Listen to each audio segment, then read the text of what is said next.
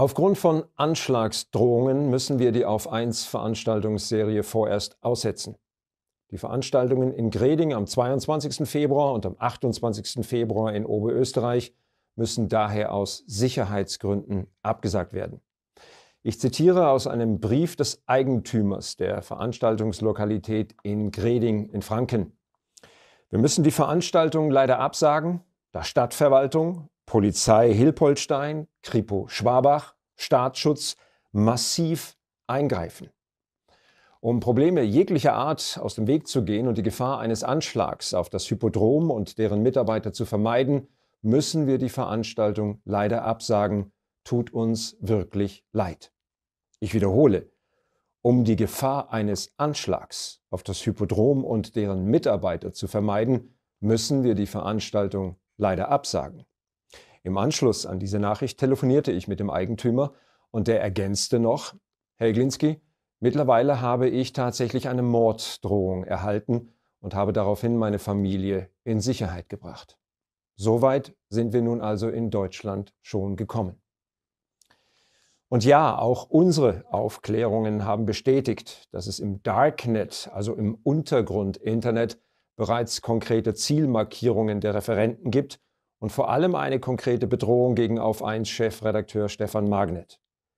Dieses aktuelle Bedrohungsbild lässt es nicht zu, dass wir diese Veranstaltungsreihe durchführen.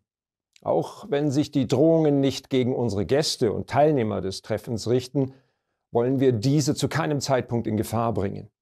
Die Zielmarkierung richtet sich hauptsächlich gegen Auf 1 Chef Stefan Magnet, und er würde die bis auf Restplätze ausverkauften Veranstaltungen trotzdem durchführen, wenn es nur um seine Sicherheit gehen würde. Genauso wie ich, denn wir lassen uns nicht stoppen. Aber Sie wollen wir nicht dem geringsten Risiko aussetzen, darauf legen wir größten Wert. Warum aber werden die Drohungen gegen uns immer intensiver? Das kann ich Ihnen sagen. Es liegt daran, das auf eins die großen Zusammenhänge zeigt, den wahren Geheimplan und die wahren Geheimgesellschaften offenlegt und nicht nur an Symptomen herumdoktert.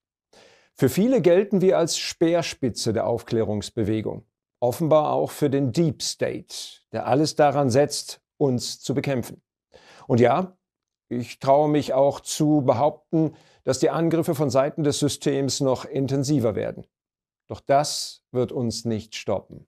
Wir wussten, dass wir besonders im Visier und im Fokus stehen, weil wir die gesamte Globalistenagenda schonungslos in aller Klarheit aufzeigen. Wir wussten, dass wir mit dem Aufdecken von globalen Verbrechen und Geheimgesellschaften mächtige Gegner auf den Plan gerufen haben. Wir wussten, dass wir besonders konzentriert und mutig sein werden müssen, wenn wir diesen Weg gehen. Und wir gehen ihn aus Überzeugung. Wir wussten, dass im Schicksalsjahr 2024 das System mit aller Brutalität den Great Reset vorantreiben will.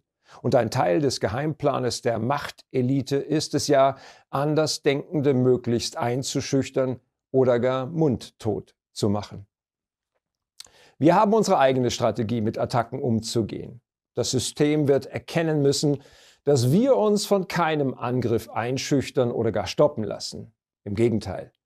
Wir haben schon in der Corona-Zeit bewiesen, jeden Angriff gleichen wir aus und schlagen umso stärker zurück. Sie wollen die Vernetzung verhindern.